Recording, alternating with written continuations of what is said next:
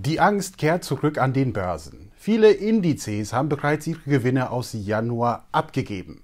Genau darüber spreche ich mit Frank Fischer. Und genau das mag dann der Aktienmarkt nicht so sehr, weil dieser Schaden schlägt sich in fallenden Umsätzen und Gewinnen nieder. Bleiben Sie dran.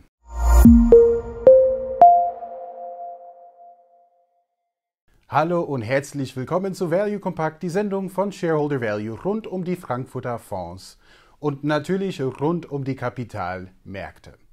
Ja, die Aktienmärkte weit und breit sind einmal wieder unter Druck geraten, denn die Angst ist wieder da. Für manche Anleger ist die Angst sogar eine gute Gelegenheit, um Qualitätsaktien günstig zu kaufen bzw. nachzukaufen. Das machen wir beispielsweise mit unseren Frankfurter Fonds immer wieder und ja, genau darüber spreche ich jetzt gleich mit unserem CEO Frank Fischer.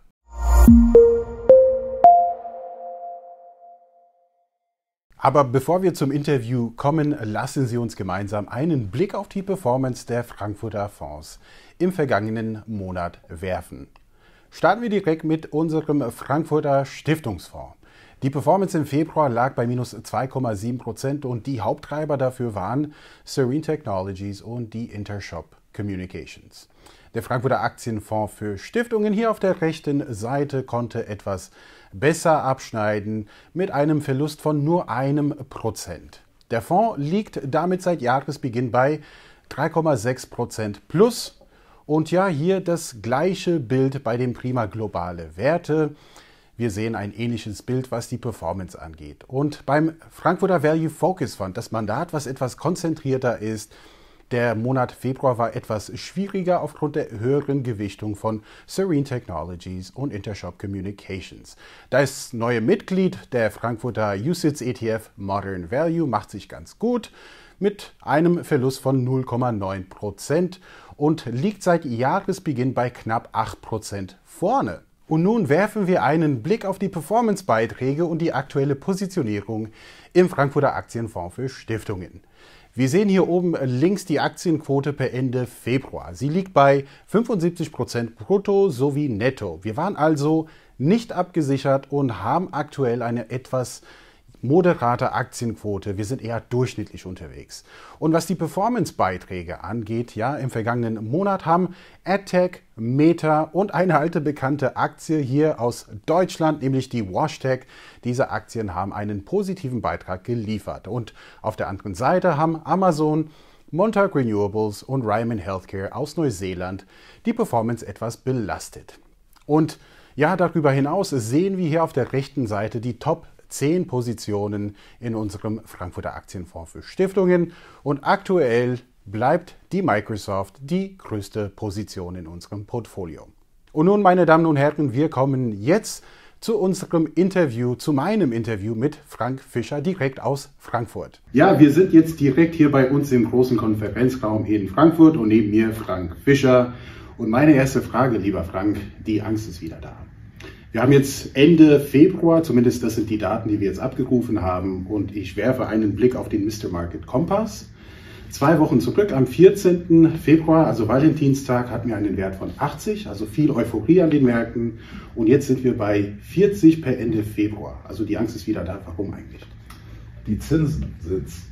Das Problem ist, dass tatsächlich die Erkenntnis reift, dass es gut sein kann, dass sie noch höher steigen müssen wir haben einfach einen sehr robusten Arbeitsmarkt. Es gibt wenig Arbeitslose und dann haben wir eben immer noch das Thema Inflation, was nicht so richtig runterkommt.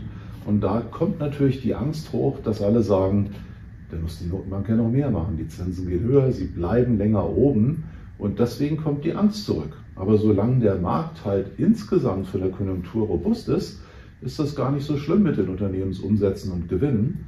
Erst wenn diese Bremswirkungen nachhaltig sich böse auswirken, wird das an den Aktienmärkten auch mal mehr eingepreist. Ich glaube aber, dass wir aktuell nur einen kleinen Dip sehen und kann man wirklich sagen, Angst ist gut. Und in diese Angst hinein, wenn dann ängstlich sind, dann kann man auch mal ein bisschen wieder was kaufen.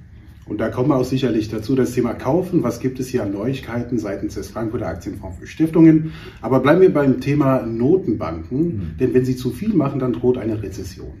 Wir haben eine fortgeschrittene Zinsen, also inverse Zinskurve in den USA zwischen dreimonatige und zehnjährige US Treasuries.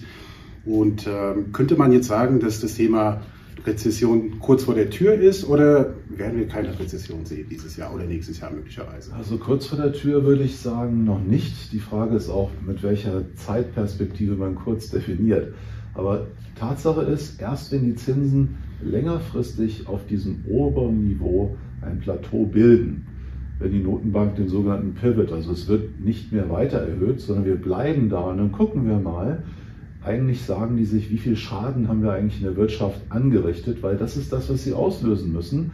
Einen gewissen Schaden, einen gewissen Arbeitslosigkeit muss da sein, Bremswirkungen, weil dann kriegt man die Inflation erst in den Griff. Und genau das mag dann der Aktienmarkt nicht so sehr, weil dieser Schaden schlägt sich in fallenden Umsätzen und Gewinnen nieder. Das heißt, erst nach dem Pivot, und das ist eigentlich das, jeder sagt, ist doch toll, wenn dann die Zinsen wieder runterkommen. Die schlechte Nachricht ist, Normalerweise ist das immer so, erst wenn die Zinsen fallen, kommt dann auch diese schlechte Gewinnentwicklung in Unternehmen an und dann fallen auch die Aktienmärkte, passen das relativ schnell ein, weisen das ein, passen es an und dann geht das Spiel von vorne los. Also die Aktienmärkte fallen, Einzelaktien auch damit. Was haben wir jetzt hier in den vergangenen Wochen gemacht in Sachen verschiedene Fonds? Wir haben verschiedene Mandate. Der Frankfurter Stiftungsfonds hat sich gut gehalten, auch im Laufe des letzten Jahres. Wir hatten einen phänomenalen Start jetzt äh, im neuen Jahr 2023. Der Januar war super, der Februar dann eher nicht so super. Mhm. Aber was haben wir in dieser Zeit gemacht? Haben wir Aktien gekauft? Haben wir welche verkauft? Was darfst du uns verraten oder dem Publikum verraten? Ja, es ist nicht so, dass wir da nicht aktiv sind, sondern wir haben tatsächlich unser Portfolio auch bewirtschaftet. Wir haben zum Beispiel gesehen, dass einer unserer Lieblinge, die Firma Autodesk, da hat das Management doch extrem massiv zugegriffen. 40 Prozent der Gewinne sind in die Share-Based Compensation, also in die Aktienoptionen geflossen. Und das ist uns doch zu viel. Also die bedienen sich dort so sehr selber, dass dieses tolle Wachstum und die tollen Kapitalrenditen leider eben zum großen Teil dem Management gehören und nicht uns als Mitinvestoren. Wir haben uns von der Position erstmals getrennt. Wir sind gerne dabei und kaufen die auf einem niedrigen Niveau auch wieder zurück aber wir haben dort die Gewinne mitgenommen und haben eben den Cash aufgebaut. Den haben wir auch gleichzeitig wieder verwendet und haben uns dann überlegt, wo können wir denn investieren? Und dort sind wir auch durch unseren neuen Kollegen Markus Engels, unseren Versicherungsspezialisten, auf eine Rückversicherungsaktie gestoßen, die uns sehr gefallen hat, die Firma Score. Das ist die Nummer 4 in Europa. Dort ist auch ein neuer CEO, der demnächst antritt und in dieser Übergangsphase, wo eben noch das Management ähm, Vakuum besteht. Und was macht der Mann eigentlich? Macht der Kitchen Sinking, also legt er sich einfach die Hürde niedriger, sind die Aktien nochmal unter Druck gekommen und die zeichnen sich, heute kamen die Zahlen, durch eine schöne Dividendenrendite von über 6% aus. Und wir sehen auch, dass die Bewertung nach klassischen Value-Kriterien von KGV von 6 reden wir hier, einen schon ziemlich anschreit. Und nachdem wir eben jetzt sehen, dass das auch auf die nächsten Jahre ein interessantes Investment ist, haben wir uns dort eine schöne Position aufgebaut und sehen dort eine gute Perspektive. Dann haben wir bei einem Titel, wo wir schon länger drin sind und auch ein bisschen unter Druck gekommen sind durch die steigenden Zinsen in Neuseeland, haben wir ein siebenprozentiges Zinsniveau. Ist Ryman Healthcare, eine unserer Lieblinge, Good Enough for Mom heißt das, also da geht es um Altersheim-Projektierer, Pflegeheimanbieter. Dort gab es, wenn man möchte, so Notkapitalerhöhung. Das ist immer die Frage, ist die These gebrochen, haben wir einen Fehler gemacht oder nicht? Wir haben uns das gut angeschaut und haben gesehen, das ist eine echte Chance, dort mal günstig nachzukaufen. Das haben wir auch gemacht. Wir haben an der Kapitalerhöhung partizipiert. Und dann haben wir in dem Bereich äh, Biotech, da sind wir normalerweise nicht zu Hause. Wir sind auch nicht die Biotech-Spezialisten, die jetzt den Gold Digger entdecken können. Mhm. Aber wir haben eben so das Konzept Spitzhacke und Schaufel für den Gold Rush und haben uns dort mit der Stadium, Sartorius Stadium Biotech Firma, haben wir die Erstposition genommen und sehen dort auch, wenn vielleicht doch nochmal Covid ausgepreist wird und es noch mehr unter Druck kommt, eine Chance nachzulegen.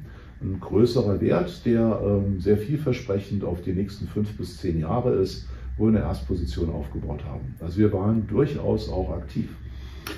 Ja, wir sind aktiv gewesen, meine Damen und Herren. Und äh, ja, Frank, ich bedanke mich auch für deine Zeit und äh, damit erstmal zurück ins Studio. Das war's dann für die heutige Sendung, meine Damen und Herren.